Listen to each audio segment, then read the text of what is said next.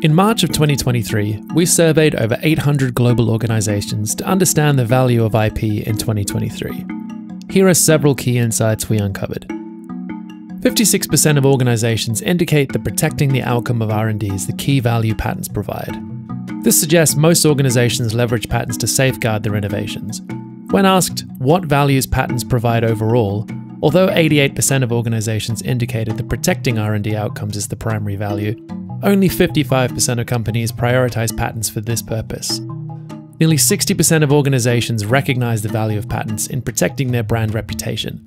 However, less than half identified gaining income or securing financing as key values.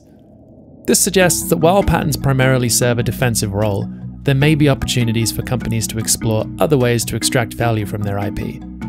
Examples include leveraging patents to enhance brand reputation, generate income, and secure financing. But is the value of IP increasing or decreasing? 77% of companies express confidence that patents will contribute significant value to their company in the next two to three years.